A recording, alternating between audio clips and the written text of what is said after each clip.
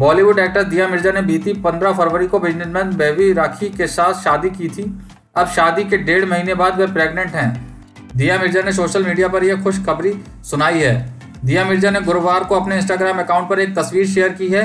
इसमें वे बेबी बम के साथ नज़र आ रही हैं। दिया मिर्ज़ा ने एक प्यारा सा पोस्ट लिखा है। उन्होंने अपनी पोस्ट में बताया, यह तस्वीर उनके पति वैभव रेखी ने क्लिक की है।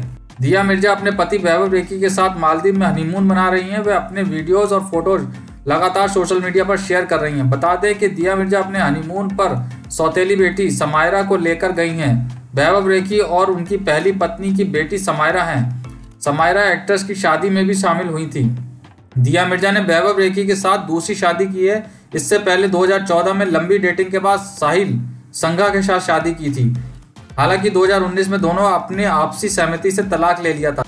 दिया मिर्ज़ा तलाक से काफ़ी समय पहले ही साहिल संघा से अलग रह रही थी। रिपोर्ट थी कि लॉकडाउन के दौरान वैभव रेखी और दिया बीच नजदीकियाँ बढ़ी। वैभव मुंबई के बिजनेसमैन हैं और इन्वेस्टर हैं और वह जानी मानी योगा इंस्ट्रक्टर सुनैना रेखी के पति थे।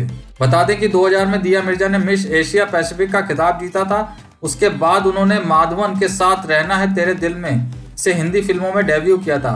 पिछली बार दिया मिर्ज़ा तापसी पन्नू के लीड रोल वाली फ़िल्म थप्पड़ में नज़र आई थी। तो क्या कहना है आपको दिया मिर्ज़ा के इस खुशखबरी के बारे में? कमेंट्स करके बताइए लाइक कीजिए सब्सक्राइब कीजिए और देखते रहिए बिग स्क्रीन